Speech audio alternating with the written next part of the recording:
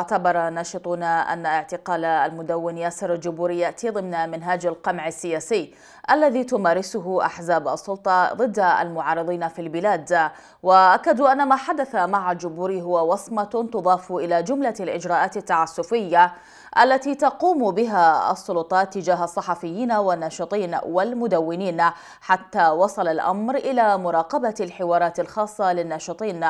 وأشاروا إلى أن اعتقال الجبوري يتعارض مع حقوق الإنسان ومبادئ الديمقراطية التي يفترض أن يلتزم بها المنهاج الحكومي الذي وعد الشعب بتطبيقها. مبينين أن السلطات تعتمد على مواد قانونية رجعية لا تناسب الحاضر مثل المادة 266 من قانون العقوبات التي تنص على حبس من يقدم على انتقاد مؤسسات الدولة الرسمية. وهذه المادة فضفاضة لأنها تحتمل تأويلات. عديدة.